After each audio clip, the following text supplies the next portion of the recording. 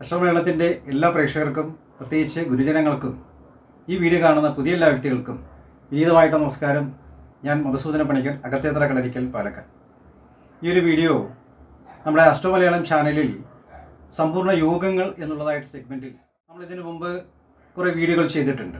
അതിൽ ഇരുപത്തിമൂന്നാമത്തെ യോഗമായിട്ടുള്ള ശാസ്ത്രങ്ങൾ പ്രതിപാദിക്കുന്ന പർവതയോഗം എന്ന് പറയുന്ന യോഗത്തെക്കുറിച്ചുള്ള വിശദാംശങ്ങളാണ് ഈ വീഡിയോ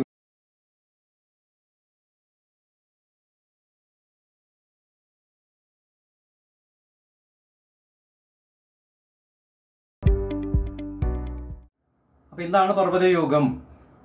ഈ പർവതയോഗം തരുന്ന ഗുണഫലങ്ങൾ എന്തൊക്കെയാണ് എന്ന് പരിശോധിക്കുമ്പോൾ അതിന്റെ ഒരു അടിസ്ഥാന പ്രമാണം നമുക്ക് ശാസ്ത്രങ്ങളിൽ കാണുന്നു. ഉദയാസ്ത കർമ്മഹിപുകെ ഗ്രഹയുക്തെ വിഭനൈ ധനേഹി ശുദ്ധേ യ കശ്ചിൻ നവമാഗതോ യോഗോയം പർവതോ നാമഹ. ഇതാണ് നമുക്ക് കാണുന്നതായിട്ടുള്ള പ്രമാണം. അപ്പോൾ എന്താണ് ഇതിന്റെ ഒരർത്ഥം നമ്മളൊന്ന് നോക്കുമ്പോൾ നമ്മുടെ ജാതകവശാൽ ലഗ്നഭാവത്തിൽ നിന്ന് കൂറുഫലങ്ങളോ മറ്റോ ഒന്നുമല്ല. നമ്മുടെ ജാതകവശാൽ ജനിച്ച സമയത്തെ അടിസ്ഥാനപ്പെടുത്തി നമുക്ക് ലഭിക്കുന്ന ലഗ്നഭാവത്തിൽ നിന്ന് അതായത് കേന്ദ്ര രാശികളായിട്ടുള്ള നാല് ഏഴ് പത്ത് എന്നീ രാശികളിൽ പൂർണമായിട്ടും ശുഭഗ്രഹങ്ങൾ നിൽക്ക് നിൽക്കുകയോ അതുപോലെ തന്നെ എട്ടാമത്തെ രാശിയിലോ പന്ത്രണ്ടാമത്തെ രാശിയിലോ മറ്റ് ഒരു ഗ്രഹങ്ങളും ഇല്ലാതിരിക്കുകയോ ഒരു ഗ്രഹം മാത്രം ഒമ്പതാമത്തെ രാശിയിൽ നിൽക്കുകയും ചെയ്തുകൊണ്ടാൽ ഈ പർവതം എന്ന യോഗം നമുക്ക് സംഭവിക്കുമെന്നാണ് സൂചിപ്പിക്കുന്നത്. അപ്പം അങ്ങനെയുള്ള ഈ പർവതയോഗ ജാതകന്മാരിൽ എന്തൊക്കെയാണ് അതിന്റെ ഫലങ്ങൾ അവരനുഭവിക്കുക എന്ന് നമ്മളൊന്ന് പരിശോധിക്കുമ്പോൾ അതിന്റെ ഒരു ഫലപ്രമാണം നമുക്ക് കാണുന്നത് പർവതയോഗി ജാതോ ഭൂപാലോ ധർമ്മവാൻ വിനീതശ്ച ഗ്രാമപുര നഗര കർത്ത ലോകേ ശുദ്ധവാൻ യുഗാന്തികീർത്തിസ്യാത് എന്നാണ് അതിന്റെ പ്രമാണം സൂചിപ്പിക്കുന്നത്. അപ്പം അങ്ങനെയുള്ള യോഗജാതകന്മാർ ഒരുപാട് ബഹുമാന ആദരവുകൾ സമൂഹത്തിൽ നിന്നും നേടിയെടുക്കാൻ കഴിവുള്ളതായിട്ട് വ്യക്തികളാണ് എന്ന് സൂചിപ്പിക്കുന്നു.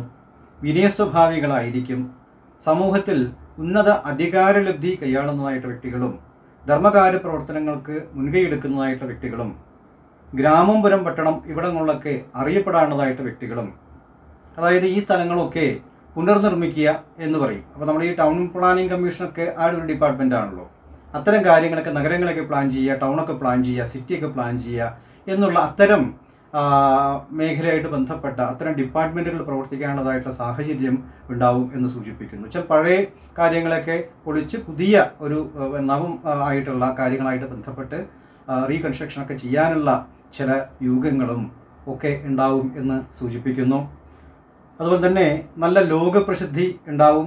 എല്ലാ കാലത്തും നിലനിൽക്കത്തക്ക തരത്തിലുള്ള ഐശ്വര്യങ്ങളും പ്രതാപങ്ങളും നല്ല പേരും സ്ഥാനമാനങ്ങളും അതുപോലെ തന്നെ നല്ല കുടുംബജീവവും സന്താനപ്രാപ്തിയും സാമ്പത്തികപരമായിട്ടുള്ള ഉന്നതിയും പല അധികാരങ്ങളും കൈകാളുന്നതായിട്ട് വ്യക്തികളും ധർമ്മകാര്യ പ്രവർത്തനങ്ങളെല്ലാം ചെയ്യുന്നതായിട്ട് വ്യക്തികളായിരിക്കുമെന്നാണ് ഈ പർവതയോഗം എന്ന് പറയുന്നതായിട്ട് യോഗത്തിന്റെ ഫലം കാണുന്നത്. അപ്പോൾ നമ്മുടെ ജാതകങ്ങളൊക്കെ പരിശോധിച്ചാൽ തീർച്ചയായിട്ടും അത് മനസ്സിലാക്കാൻ സാധിക്കും. അപ്പോൾ ഈ ഗ്രഹങ്ങളുടെ നമ്മുടെ ഈ പറഞ്ഞ ഒന്ന് നാല് ഏഴ് പത്ത് രാശികൾ നിൽക്കുന്നതായിട്ട് ഗ്രഹങ്ങളുടെ ആ കാലഘട്ടങ്ങളിൽ ശുഭഗ്രഹങ്ങളാണെങ്കിൽ അതിന്റെ നല്ല ഫലങ്ങൾ നമുക്ക് ലഭിക്കും. പാപഗ്രഹങ്ങളാണെങ്കിൽ അതിന്റെ ഒരു പകുതി ഫലമൊക്കെയാണ് നമുക്ക് ലഭിക്കുക എന്നാണ് സൂചിപ്പിക്കുന്നത്. അപ്പം അത്തരം ഗ്രഹങ്ങളുടെ ദശാപഹാര ചിത്രങ്ങൾ വരുമ്പോഴാണ് നമുക്ക് ഈ പർവത യോഗം എന്നുള്ള യോഗം നമുക്ക് അനുഭവിക്കാൻ സാധിക്കുക. അപ്പോൾ എല്ലാവരും ജാതകങ്ങളൊക്കെ പരിശോധിക്കുമ്പോൾ ഇത്തരം യോഗങ്ങളെക്കുറിച്ചൊക്കെ പരിശോധിച്ച് അത് മനസ്സിലാക്കി വെക്കുന്നത് നന്നായിരിക്കും. അതൊക്കെയാണ് നമുക്ക് ഈ യോഗം തരുന്ന ഗുണഫലങ്ങളായിട്ട് കാണുന്നത്. അപ്പോൾ ഈ ഒരു വീഡിയോ എല്ലാവർക്കും ഉപകാരപ്രദമാകുമെന്ന് വിചാരിക്കുന്നു. ഇതിന് മുമ്പ് അപ്ലോഡ് ചെയ്തിട്ടുള്ള എല്ലാ വീഡിയോയും ഇതിന് മുകളിൽ ഞാൻ ലിങ്ക് ഇടാം. അതിൽ കയറി മുമ്പ് അപ്ലോഡ് ചെയ്തിട്ടുള്ള എല്ലാ വീഡിയോയും കാണാനായിട്ട് ശ്രമിക്കുക അഭിപ്രായങ്ങൾ അറിയിക്കുക. എന്തെങ്കിലും സജഷൻ ഉണ്ടെങ്കിൽ തീർച്ചയായിട്ടും അറിയിക്കണം. വീഡിയോയെക്കുറിച്ചുള്ള അഭിപ്രായങ്ങളും അറിയിക്കണം. അതുപോലെ വരും കാലത്ത് അപ്ലോഡ് ചെയ്യുന്ന എല്ലാ വീഡിയോയും അതാത് കാലത്ത് കാണാനെ കൊണ്ട് ശ്രമിക്കുക. എല്ലാവർക്കും ഐശ്വര്യങ്ങളും അഭിവൃദ്ധികളും ഉണ്ടാവട്ടെ എന്ന് ഭഗവാനോട് പ്രാർത്ഥിച്ചുകൊണ്ട് വീണ്ടും അടുത്ത ഒരു നല്ല വീഡിയോ കാണും വരേക്കും. എല്ലാവർക്കും എന്റെ വിനീതമായിട്ടുള്ള നമസ്കാരം.